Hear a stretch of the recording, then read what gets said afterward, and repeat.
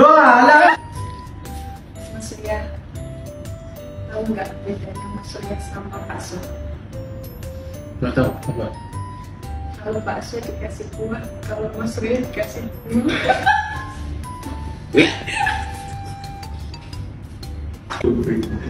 Pas kamu tahu nggak bedanya kamu sama mie Korea? Kalau mie Korea sayang, kalau kamu sayang. Itu